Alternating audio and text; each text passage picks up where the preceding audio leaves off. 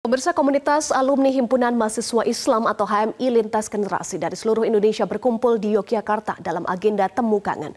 Dalam kesempatan ini, para alumni HMI menyatakan dukungan pada pasangan Capres-Cawapres nomor urut 1, Anies Rashid Baswedan Mohaimin Iskandar pada pemilu 2024. Usai menggelar Temu Kangen komunitas alumni Himpunan Mahasiswa Islam atau HMI di Yogyakarta, para alumni yang terdiri dari angkatan lintas generasi dari tahun 70-an 80-an, 90-an hingga 2000-an dan berasal dari berbagai wilayah Indonesia turut menyumbangkan gagasan dan pikiran atas situasi dan perkembangan negeri akhir-akhir ini.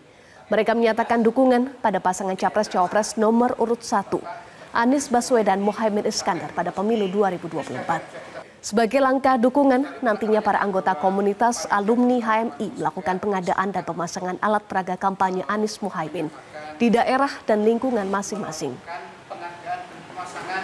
KPK, KPK Amin, bukan KPK yang lain.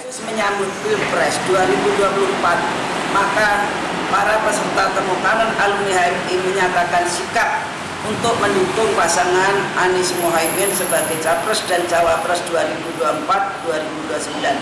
Hal ini mengingat bahwa Anies Baswedan adalah salah satu alumni HMI dari Komersialiyat Fakultas Ekonomi dan Bisnis Universitas. Jelajahi cara baru mendapatkan informasi. Download Metro TV Extend sekarang.